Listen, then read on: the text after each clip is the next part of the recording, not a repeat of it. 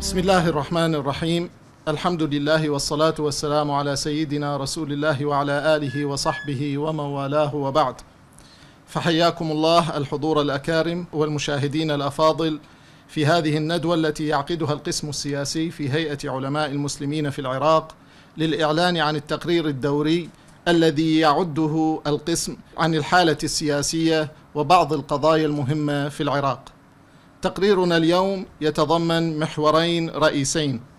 المحور الأول يتعلق بتفاصيل إحاطة الممثلة الخاصة للأمين العام للأمم المتحدة في العراق جينين هينيس بلاسخارت المقدمة إلى مجلس الأمن في الرابع من الشهر الجاري وسيكون الحديث فيه عن الواقع السياسي في العراق وعن التظاهرات الشعبية وعن مشكلة الانتخابات وخيبة العراقيين وفشل الإصلاحات والحلول اليائسة والفساد المستشري والانتخابات في كردستان وتداعياتها السياسية والاعتداءات المستمرة على الأراضي العراقية.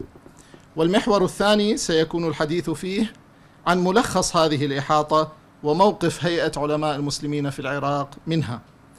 تأتي هذه الندوة في توقيت مهم وسط أحداث دموية وعدم استقرار وصراع محتدم على السلطة في العراق وانطلاقا من مسؤوليتنا في الهيئة في تبيين الحقائق وتوضيح الرؤية لأبناء شعبنا يتفضل مسؤول القسم السياسي في هيئة علماء المسلمين في العراق الدكتور مثنى حارث الضاري ليكشف لنا تفاصيل هذه الإحاطة وما يتعلق بها فليتفضل مشكورا.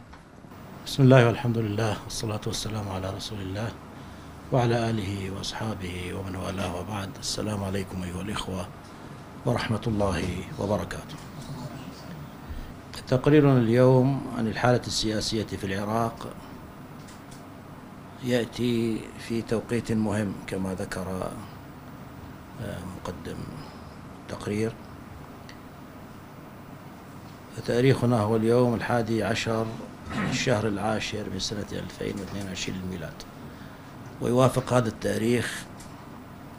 تاريخ موافقة مجلس الشيوخ الأمريكي بالأغلبية على قرار شن الحرب على العراق في سنة 2002 وما استتبع ذلك من دمار وخراب لهذا البلد ومن نظام سياسي ما زال قائما إلى الآن على أسس المحاصصة الطائفية والعرقية وما ترتب على ذلك من مآسم ونكبات وكوارث ما زالت مستمرة حتى اللحظة.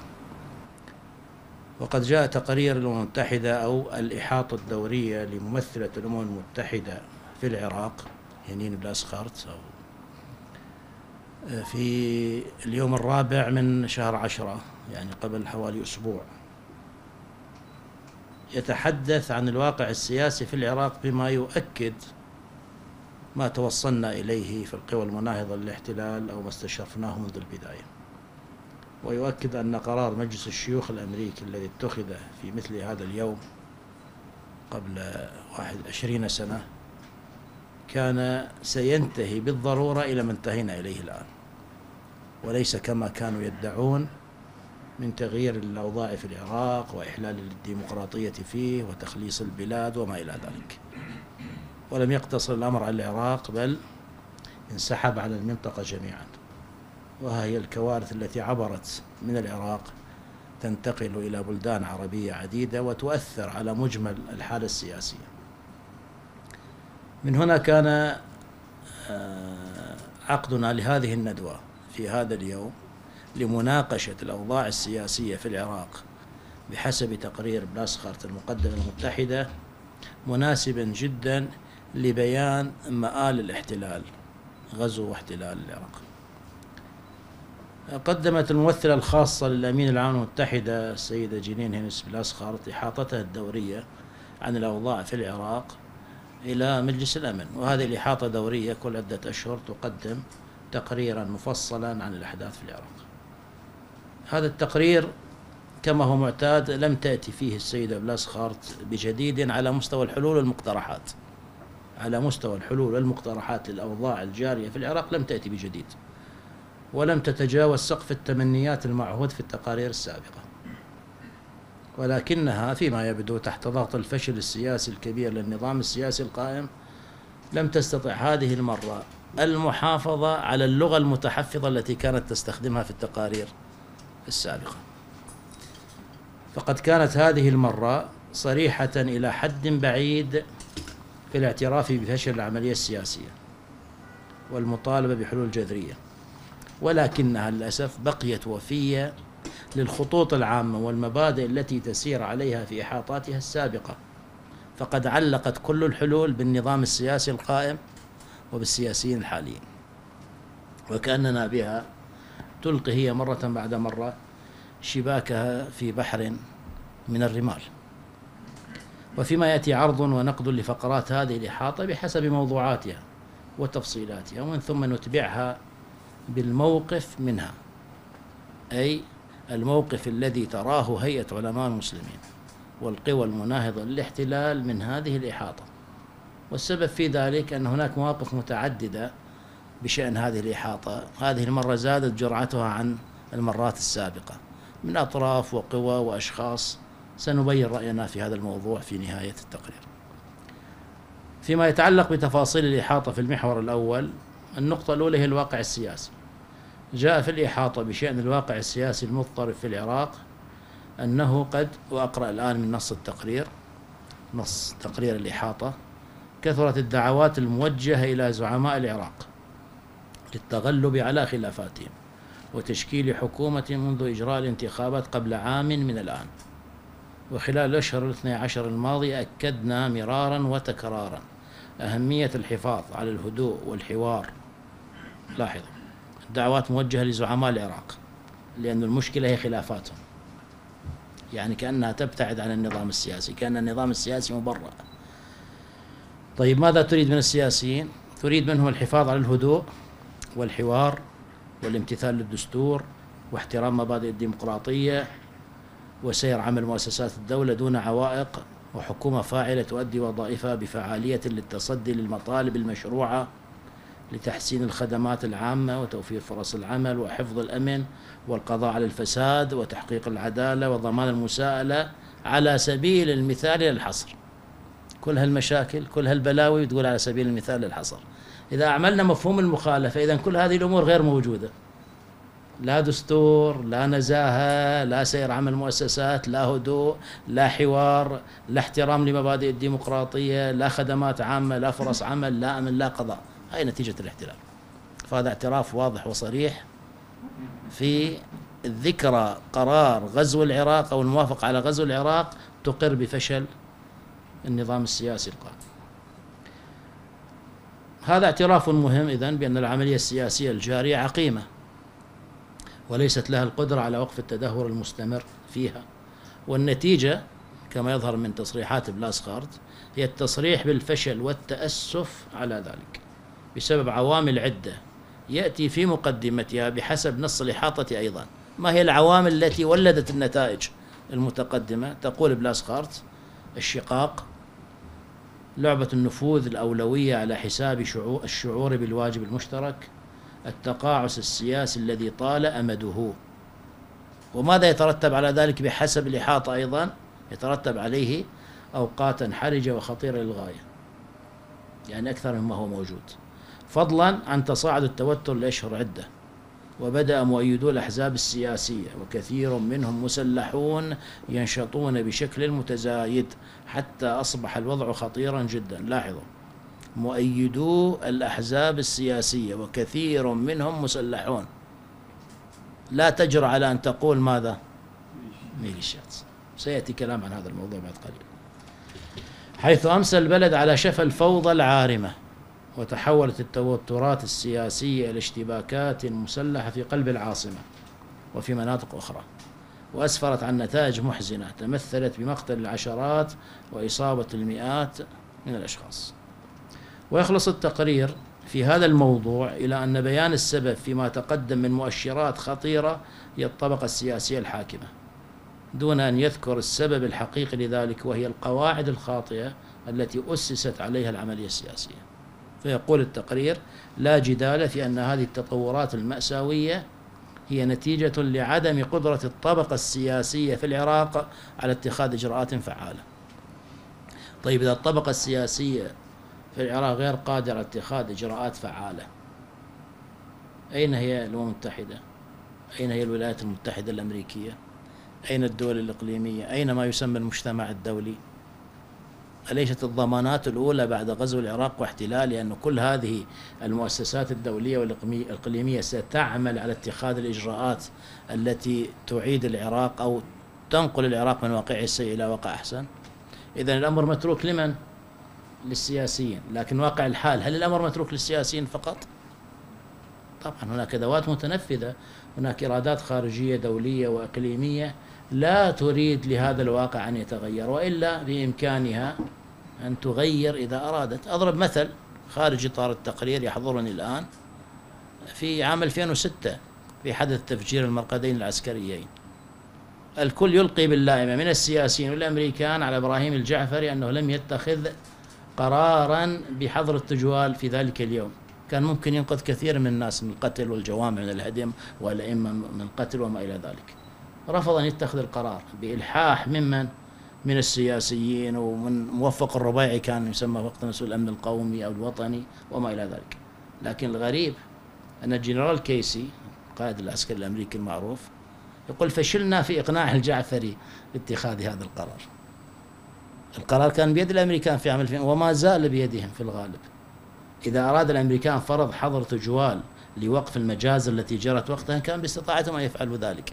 يترجون إبراهيم الجعفري هو من جاب إبراهيم الجعفري من نصب إبراهيم الجعفري. فإذا هذا دليل على أن الطبقة السياسية لا حول لها ولا قوة. لو أرادوا أن يعني يغيروا الأمور كان استطاعوا تغيير. الأدوات السياسية والطبقة السياسية كما تعرفون مرجعياتها معروفة إقليميا ودوليا. وبتعبير آخر تقول بلاسخارت لقد أخفقت الأطراف الفاعلة على امتداد الطيف السياسي في وضع المصلحة الوطنية في المقام الأول. لقد تركوا البلد في مأزق طويل الأمد مما زاد من تصاعد الغضب المتأجج أصلا. والنتيجة كما تقول هي بقاء الوضع شديد التقلب. مو بس وضع مضطرب وإنما شديد التقلب. طيب لاسخر تقول فشلوا في وضع المصلحة الوطنية في المقام الأول. ماذا كنا نقول منذ بداية الاحتلال وحتى اللحظة؟ كنا نقول إن السياسيين في العراق لا يغلبون مصالح الوطن وإنما يغلبون المصالح الإقليمية والدولية فضلا عن المصالح الخاصة. وكان بعضهم يعني يقول هذه لغة غير سياسية. طيب هذه بلاسخارت تصفهم بهذا الوصف. ننتقل إلى النقطة الثانية والتظاهرات الشعبية. والمقصود بها تظاهرات انتفاضة تشرين. تناولت إحاطة بلاسخارت موضوع التظاهرات الشعبية الكبيرة قبل ثلاث سنوات في سياق انتفاضة تشرين. وقالت عنها قبل ثلاث سنوات كما تذكرون نزل العراقيون إلى الشوارع للاحتجاج على انعدام الآفاق السياسية والاقتصادية والاجتماعية. لقد كان حراكا على مستوى لم يسبق له مثيل ولكنه تحول إلى مأساة.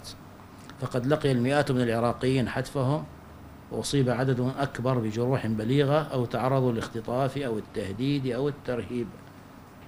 ولكن الإحاطة اختصرت هذا التوصيف والعرض التاريخي على الرغم من وصفه بالمأساوية وقفزت أنهته بسرعة وقفزت إلى نقطة أخرى بدون أن تذكر ولو تلميحا. من هي الجهات المتهمة بارتكاب هذه المأساة والجرائم المرتبطة بها؟ ودون أن تذكر حرفا واحدا عمن عن الميليشيات. لاحظوا موضعين تجنبت فيهما لاسخارت ذكر الميليشيات مع أنه كان مناسبا جدا ذكرها فيها. وبعد ذكر صعوبات تنظيم الانتخابات الماضية اضطرت المبعوثة الأممية إلى التصريح بأنه يصبح من الصعب تبرير غياب حكومة تؤدي وظائفها بعد مرور 12 شهرا. وتجعل هذا الواقع سببا لتظاهرات العراقيين الجديدة التظاهرات التي انطلقت في الذكرى الثالثة لانتفاضة التشرين وتعزو عدم الاتساع النسبي لهذه التظاهرات بحسب قولها إلى أنه ليس لأن العراقيين أصبحوا الآن راضين فجأة. بل لأنهم لا يرغبون في أن يتم, يتم استغلالهم في خضم الصراع الجاري على السلطة. كما أوضح ذلك العديد من أولئك الذين نزلوا إلى الشوارع عام 2019 إذا العراقيون نزلوا إلى الشوارع. في الذكرى الثالثة انتفاضة تشرين وبحجم كبير نسبيا. هي تقول عدم اتساع نسبي. إحنا نقول حجم كبير نسبيا. كان دائما يقولون عندما لا يخرج عدد بأنهم راضين عن الأوضاع. هي تقول لا عدم الخروج ليس رضا عن الأوضاع وإنما يأسا من تحقق المطالب. وهذه نقطة انتقالية جيدة ولأول مرة يظهر في إحاطات بلاسخارت هذا التعبير. تنتقل بعد ذلك إلى مشكلة الانتخابات. تقول فيما وفيما يتعلق بالانتخابات اعترفت بوقوع أخطاء استراتيجية من الأطراف كافة ولم تكتفي بهذه العبارة وإنما عادت التأكيد على أن الأخطاء قد وقعت من أطراف كافة.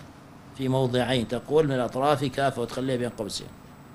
ولكنه انتهى ولكنها انتهت من هذه الحقيقة إلى مخرج بائس عندما دعت إلى الحوار بين هذه الأطراف لإبعاد العراق عن حافة الهاوية كما تسميها قائلة لكل وضع تاريخه وخصوصياته. ولكن اسمحوا لي أن أكون واضحة.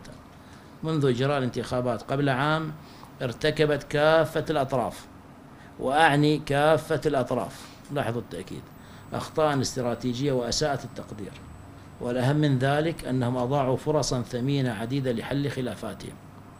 وبوجود مخاطر ما تزال واقعية للغاية لوقوع مزيد من الفتنة وسفك الدماء فإن التركيز على من فعل ماذا ومتى لم يعد خيارا.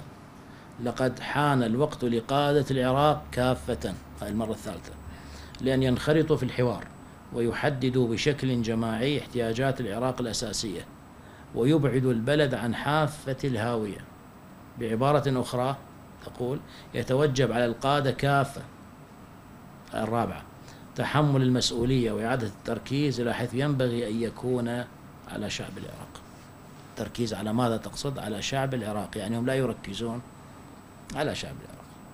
وفيما يتعلق بالانتخابات المقترحة كمخرج من الأزمة السياسية المستمرة الموصوفة بالانسداد جاء في التقرير نظرا إلى أن الدعوات إلى إجراء انتخابات وطنية مبكرة قد أضحت أكثر وضوحا.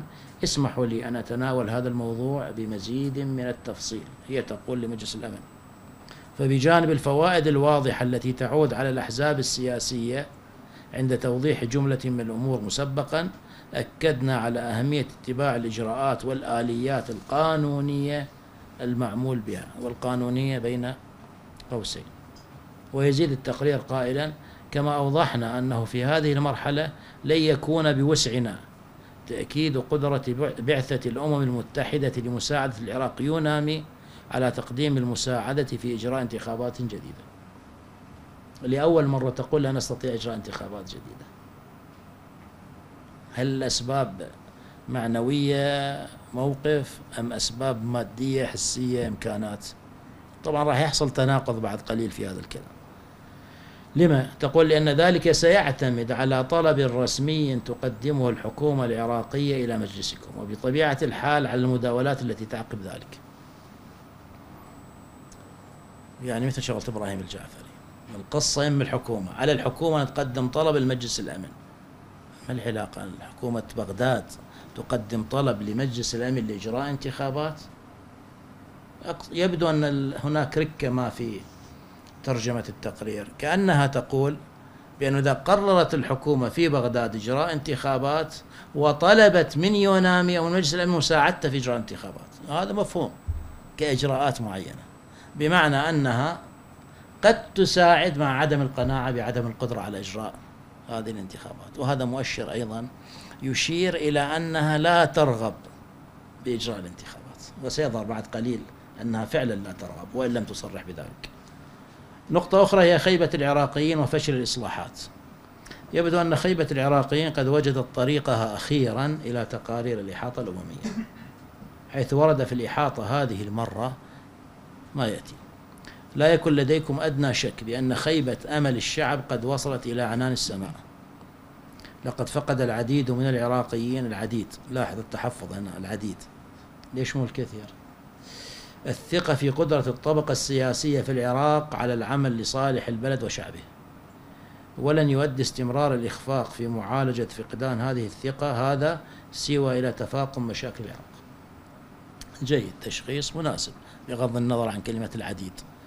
ولكن العلاج والحل هو عينه في ما تقدم في الفقرة السابقة.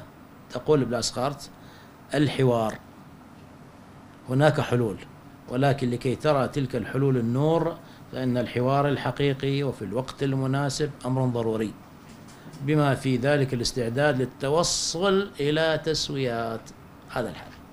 إذا هي لا تريد انتخابات تريد تسويات. إذا تقمصنا دور بلاسخارت نقول نعم لأنه انتخابات ممكن تحدث مشاكل ممكن تطول أيضا وتأخذ أشهر وخلافات وما إلى ذلك. فاللجوء إلى التسويات أفضل. لكن من وجهة نظرنا بأنه عدم اللجوء إلى الانتخابات رغم أنه إحنا ضد النظام السياسي بانتخاباته جميعا أن أي انتخابات قادمة ستكشف أكثر فأكثر عن حالة النظام السياسي القائم في العراق. وستظهر حقيقة مطالب العراقيين بقوة رغم أنها كانت قوية جدا في الانتخابات الماضية نسبة المقاطعة 85% هنا ستكون أكبر وقد تؤدي إلى أمور تخشى مبعوثة الأمم المتحدة إلى انفلات الأوضاع في العراق فهي تدعو إلى التسويات وستكرر. والعراق قائم على التسويات من صار 2000 الاحتلال 2003 إلى الآن. يعني كل رؤسائنا تسويات أو كل رؤساء حكومات الاحتلال تسويات. بدءا من اياد علاوي للمالكي للعبادي لل عادل عبد المهدي وصولا إلى الكاظمي. كلها تسويات. وحتى الرئيس القادم تسوية. وبالمناسبة هنا في هذا المكتب زارنا يعني سكرتير مبعوثي الامم المتحده على طول الخط منذ بداية الاحتلال إلى اللحظة. ما زال نفس السكرتير. قبل تشكيل حكومة عادل عبد المهدي وجرى لقاء في غرفة بجانب هذه القاعة. يسألنا عن تصورنا للحل سألناه عن تصور الحل قال آه، سينتخب أو يختار السيد عادل عبد المهدي بناء على تسوية ووضع له سقف زمني لإنهاء الفساد بين ست أشهر إلى سنة. وتعرفون ماذا جرى بعد ذلك. فالتسويات هي على هذا السياق. تقول كما ينبغي العمل باتجاه الوصول إلى تغيير جذري. دعونا نواجه الأمر. منذ عام 2003 أهدرت العديد من الفرص لإجراء إصلاح هادف ومطلوب بشدة. من أهدرها؟ تقرير يسقط. وبعدما يقرب من عشرين عاما يتوجب على قادة العراق الإقرار بأن التغيير المنهجي أمر حيوي لمستقبل البلاد. لاحظوا تغيير ومنهجي. تظاهرات 2010 تظاهرات الكهرباء ثم تظاهرات 2011 و2012 و13 ثم التظاهرات إلى انتفاضة تشرين كلها تطالب بماذا؟ بدأت على استحياء بالإصلاح ثم انتهت إلى التغيير. وكل من نتحدث معه يقول لا الإصلاح والمطلوب التغيير صعب. الآن مبعوثة الأمم المتحدة تطالب بالتغيير والتغيير الجذري. إذا هذا انسياق مع من؟ مع مطالب العراقيين.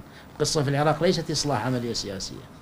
وإنما هي تغيير عملية سياسية. وهنا نوجه رسالة إلى السياسيين المخدوعين إلى الآن بأوهام الإصلاح. نقول لهم مبعوثة الأمم المتحدة تدعو إلى التغيير الجذري وأنتم ما زلتم توهمون الناس بأنكم يمكن أن تصلحوا الفاسد. الحلول اليائسة. من أفضل العناوين التي اخترناها لهذا التقرير هي الحلول اليائسة. فقد امتلأت الإحاطة بحلول يائسة. وفي حالة لإيجاد شيء ما لحل مآسي العراق وواقعه المزري تضطر بلاسخارت إلى أن تصرح ببعض ما تنوي فعله من إجراءات غير مجدية. قائلة ورغم أنني عادة لا أميل إلى بث مبادراتنا علنا يعني اضطرت المرة تبث علنا وهذا يدل على الواقع الذي دعاها إلى ذلك. أؤكد هنا أن المشاركات المكثفة خلال الأشهر والأسابيع الماضية بدءا من المشاركة في الحوار وعقد اللقاءات الثنائية لا حصر لها أو عقد لقاءات ثنائية لا حصر لها. وصولا إلى صياغة خرائط الطريق والقيام بتحركات دبلوماسية مكوكية بأشكال مختلفة صدقوني لقد حاولنا دون توقف. ثم تواصل الحديث بما يدل على يأس الأفكار والحلول التي تقترحها فتقول ومع قولي هذا أؤكد بأننا لا نمتلك عصا سحرية. ففي نهاية المطاف يعود الأمر كله إلى الإرادة السياسية. ولا يقل أهمية عن ذلك فهمنا بأنه في نهاية المطاف لا يمكن للمرء أن يكون مؤثرا ما لم يتقبل تأثير الآخرين. ثم تختم بأن الموضوع لن يتجاوز التسويات المعهودة بين الطبقة السياسية. عدنا إلى التسويات. فتقول لو كان هناك فقط استعداد لو كان هناك فقط استعداد للوصول إلى تسويات هناك شيء واحد واضح وهو أن الاستمرار الواضح بانعدام الثقة يديم اللعبة الصفرية. لعبة يتم فيها تجنب الالتزام بحلول ملموسة. إذن هي لعبة صفرية. هي تقر بذلك. ولم يقتصر التقرير على ذلك فقد تضمن أيضا أسئلة يائسة. من قبيل ما هي الضمانات بأن إجراء انتخابات وطنية جديدة لن يذهب سدى مرة أخرى؟ هذا التساؤل منها. كيف سيقتنع المواطنون العراقيون بأن الأمر يستحق الإدلاء بأصواتهم؟ الثانية وما هي التطمينات التي سيحتاجها المجتمع الدولي لتقديم الدعم للانتخابات الجديدة؟ هنا تجيب عن تخوفاتها وعدم يعني تشجعها على إجراء الانتخابات لأن عندها أسئلة وتساؤلات وتطمينات تعتقد أنه لا يمكن تقديمها للعراقيين. وهي ملاحظة مهمة ينبغي أن تستخدم وقتها. إذا جرت الانتخابات هذا دليل على الانتخابات جرت في ظروف غير صحيحة وغير سليمة. وغير خفي هذا تعليقنا. وغير خفي هنا فداحة, فداحة المأزق الذي وقعت فيه بعثة الأمم المتحدة في العراق التي ينتظر منها العراقيون أجوبة لمعاناتهم لا أسئلة تزيد من شقائهم وسوداد المستقبل أمامهم. وفي نقطة الفساد كان التقرير الأممي صريحا في الإعلان عن طغيان الفساد في العراق وأنه قد تحول إلى سمة أساسية للاقتصاد كما تقول وليست عرضا وليس عرضا من أعراض الاقتصاد العراقي وإنما سمة أساسية في الاقتصاد وتؤكد على فشل محاولات القضاء على استشرائه في كل جوانب الحياة ونص التقرير قد أن على أنه قد فشلت حتى الآن محاولات المضي بإصلاح تدريجي بما في ذلك مكافحة الفساد حيث تم بشكل فعال تقويض تلك المحاولات أو عرقلتها. لقد قلتها عدة مرات وأيضا في قاعتكم هذه تقصد قاعة مجلس الأمن الفساد هو سمة أساسية للاقتصاد السياسي العراقي الحالي وهو متغلغل في المعاملات اليومية. ولست أنا فقط من يقول ذلك بل إنه أمر مقر به على نطاق واسع. مو فقط تقول سمة أساسية في الاقتصاد الفساد وأنه في كل المجالات. تقول هذا مو كلامي مع أنه إذا قالت كلامي هي مبعوثة متحدة. كلامها من وزن موقعها من قوة موقعها. لكن تقول هو أمر مقر به على نطاق واسع. أي على نطاق الباحثين والمتابعين والمحللين الاقتصاديين وقارئي الوضع في العراق وعلى مستوى الشعب العراقي. إذا الحديث عن الفساد وهذه رسالة لوسائل الإعلام وسائل إعلامنا وسائل الإعلام الأخرى. الحديث عن الفساد ينبغي أن يكون بهذا الاتجاه أن الفساد هو السمة الاقتصادية والعامل الرئيس في الاقتصاد العراقي إذا كان هناك ما يسمى اقتصاد عراقي وليست وليس عرضا من أعراض هذا الاقتصاد. ومن سمات هذا الفساد المستشري كما يرد في التقرير اعتماد العراق على المحسوبية والمحاباة وأنتج ذلك قطاعا عاما متضخما غير فعال يعمل كأداة للخدمات السياسية أكثر من خدمة الشعب وتآمر هذه بعبارة بلاسخارت تآمر تآمر المصالح الخاصة والحزبية لتحويل الموارد بعيدا عن الاستثمار والتنمية الوطنية. عبارة مجاملة. تحويله بعيدا. عبارة خلينا نقول مهنية علمية محايدة. لكن هذا التحويل بعيدا عن الاستثمار والتنمية والتنمية الوطنية معناه سرقة الأموال العراقية وإخراجها خارج العراق. فضلا عن الاختلال الوظيفي الكبير في العراق الذي هو سبب رئيس من أسباب أو نتيجة رئيسية من نتائج الفساد. ويخلص التقرير في هذا المجال أي مجال الفساد في الاقتصاد إلى نتيجة تقول إن النظام السياسي ومنظومة الحكم في العراق يتجاهلان احتياجات الشعب العراقي بل يعملان بنشاط ضدها وأنه لا يمكن لأي زعيم أن يدعي أنه محمي من هذا الفساد. وهذا اتهام لكل السياسيين والزعماء بأنهم فاسدون أو لا يقومون بحلول من أجل أو ضد الفساد. فهو يطالهم جميعا في سياق منظومة فساد وليست مجموعة من الأفراد أو سلسلة من الأحداث. إذا مو قضايا جزئية تفصيلية وإنما منظومة فساد. يعني ممكن نقول الآن العراق هو دولة منظومة الفساد. على طريقة بعض الكاتبين قبل احتلال العراق ممن كانوا يؤيدون احتلال العراق ويسمون أو يطلقون على العراق أوصافا معينة. نستطيع أن نقول العراق هو منظومة الفساد أو دولة منظومة الفساد. ثم تتحدث عن الانتخابات في كردستان وتعرض الانقسام الحاصل بين الحزبين الكرديين الرئيسين وأن هذا يشكل أكبر عائق أمام إحراز أي تقدم. وتقول وقد أوضحنا بعبارات لا لبس فيها هنا أيضا أننا لا نملك عصا سحرية على الانتخابات في كردستان. تعيد تقريبا نفس الكلام أو الكلام نفسه الذي قالته في الانتخابات العامة. والأمر يتعلق بالإرادة السياسية. وأيضا تتحدث عن قادة الأحزاب وأنهم ينبغي يكونوا مؤثرين وتخلص إلى أن التداعيات السياسية التي تنجم عن عدم إجراء انتخابات برلمانية لإقليم كردستان هذا نصها هي لإقليم كردستان في وقتها المناسب ستكون باهظة الثمن. وتقول ينبغي عدم التعامل مع توقعات الجمهور بشكل صحيح. عفوا ترتب ذلك في كردستان على أنه حدث بسبب عدم التعامل مع التوقعات أو توقعات الجمهور بشكل صحيح. وإهمال المبادئ الديمقراطية الأساسية وعدم وفاء الأحزاب بوعودها العديدة وأخيرا عدم العمل لخدمة مواطني كردستان. يعني الحالة العامة لسياسي العراق هي نفسها الحالة الخاصة والجزئية لمواطني كردستان العراق. ثم في محور الاعتداءات على العراق تقول بلاس خارتز أو تنتهي إلى معادلة صفرية أخرى كالتي انتقدتها في مقدمة إحاطتها. قائلة فيما يتعلق بهذه الاعتداءات المسلحة لا ينبغي لأي جار أن يتعامل مع العراق وكأنه باحته الخلفية. ولا ينبغي السماح لأي جار بانتهاك سيادة العراق وسلامة أراضيه بشكل منهجي وبإفلاته من العقاب. إذا الاعتداءات منهجية. ومع ذلك يحدث هذا وعلى نحو متكرر. دعوني أشدد مجددا على أهمية الشروع في مسار نحو الاستقرار السياسي. وتتجلى هذه المعادلة الصفرية في توهمها بإمكانية الاعتماد على السياسيين الحاليين في إيجاد حل ما فتقول أخيرا. واسمحوا لي أن أقول مرة أخرى هناك حلول. بمقدور أي زعيم عراقي أن يجر البلاد إلى صراع ممتد ومهلك كما أن في مقدوره أن يضع المصلحة الوطنية في المقام الأول وأن ينتشل البلد من هذه الأزمة. بقدر ما في هذا من نقد للسياسيين ولكنه محاولة هروب من انتقاد النظام السياسي القائم نفسه الذي أنتج هؤلاء السياسيين. ثانيا المحور الثاني والأخير ختام وخلاصة. هذه وجهة نظرنا فيما يتعلق بتفاصيل التقرير التي اختصرنا منها مراعاة للوقت.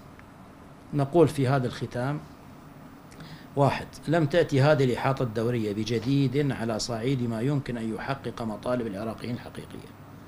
التي نزلوا بحسب نص الإحاطة إلى الشوارع للاحتجاج على انعدام الآفاق السياسية والاقتصادية والاجتماعية. اثنين نسجل استغرابنا من التعويل على هذه الإحاطة عند بعض المتابعين والاهتمام بها اهتماما غير مألوف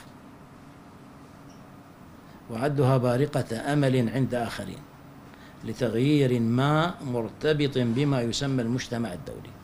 العاجز عن التعبير عن موقفه فضلا عن فرض إرادته أمام الإرادة الغالبة في العراق التي تمثلها الولايات المتحدة الأمريكية وحليفتها إيران. شفت واستمعت وقريت كأنه حصل شيء ما كأنه إحاطة بلاسخارت هذه المرة فيها أمل كأنه يمكن الاستفادة من هذه الإحاطة في تغيير الواقع. وبدأ الحديث عن المجتمع الدولي وعن المتحدة وعن مجلس الأمن وعن الدول الغربية وبل بدأت بعض الأطراف تروج لهذا الطرف البريطاني أو لذاك الطرف الفرنسي أو لذلك الطرف الإيراني وما إلى ذلك. والمشكلة أن من يروج لذلك ليسوا من مؤيدي العملية السياسية ظاهرا أو الداخلين فيها وإنما ممن يعدون أنفسهم خارج العملية السياسية من قوى مناهضة للاحتلال أو قوى رافضة للاحتلال أو شخصيات مستقلة. بمعنى أن الإحاطة استطاعت أن تخلط أوراق من لديه الاستعداد على خلط أوراقه في نتيجة أي متغير أو حدث يسير. وهذا يدل على أنه هناك أيضا أفكارا عقيمة خارج إطار العملية السياسية في تغيير الواقع في تغيير الواقع السياسي. ولسنا الآن في معرض الحديث عن هذا الموضوع. ثالثا تجاهل كثيرين لتصريحات خيبة الأمل واليأس الكامنة في نص الإحاطة وجوانبها المختلفة التي يمكن عدها وثيقة اعتراف بحقائق الواقع التي سبق للقوى المناهضة الاحتلال أن أعلنتها مرارا وتكرارا ولا سيما في تعليقاتها على إحاطات سابقة لممثلة الأمم المتحدة. التي انتهت بعد سنوات من خدمتها في العراق إلى تقرير ما نبهت إليه هذه القوى عند بداية استلام مهمتها هي. وبما يشير إلى أنها استنفدت وقتها في رؤى غير صحيحة ووقائع غير دقيقة خلال السنوات الماضية. أسلمتها إلى مواقف غير مجدية وحلول غير عملية كما يظهر من نص الإحاطة. رابعا مع تأكيدنا المستمر في بياناتنا وأدبياتنا على أن هذه الطبقة السياسية لا يمكن أن تأتي بخير للعراق والعراقيين وأنه يجب تغييرها بالكامل ووضع أسس جديدة لعملية سياسية وطنية سليمة إلا أن الدوائر الدولية والإقليمية ما زالت لا تريد لهذه الرؤية الانتشار ولا تراها متوافقة مع مصالحها في العراق والمنطقة. يبدو أنها تراها رؤية بالألف وليست رؤية بالتاء المربوطة. خامسا بناء على كل ما تقدم ما زلنا نؤكد على رؤيتنا وأملنا بالشعب العراقي الحي لفرض حل جذري ومعادلة جديدة تضطر المجتمع الدولي إلى التعامل معها عن طريق القيام بثورة شاملة في عموم العراق لطرد هذه الطبقة السياسية التي أتت على البلد فدمرته ونهبت ثرواته وخيراته وما نشهده من تنامي الوعي ووضوح الرؤية لدى عموم شعبنا في عموم محافظاته يجعلنا نتمسك بهذا الخيار ونحن نرى أبناء شعبنا أهلا لتغيير واقعهم المزري. القسم السياسي في هيئة علماء المسلمين الخامس عشر من ربيع الأول 1444 للهجرة الحادي عشر من شهر تشرين الأول 2022 للميلاد. السلام عليكم ورحمة الله وبركاته. شكرا للدكتور مثنى حارث الضاري على هذا التوضيح الوافي الذي سلط فيه الضوء على أمور مهمة يجب أن يعلمها كل عراقي لتكون سندا له في حراكه لتغيير واقعه المزري في العراق وطرد من شارك في العملية السياسية وكان سببا رئيسا في تدمير البلاد وخرابها ونهب ثرواتها. في ختام الندوة لا يسعنا إلا أن نشكر حضوركم وحسن استماعكم وإلى لقاءات أخرى نستودعكم الله والسلام عليكم ورحمة الله وبركاته.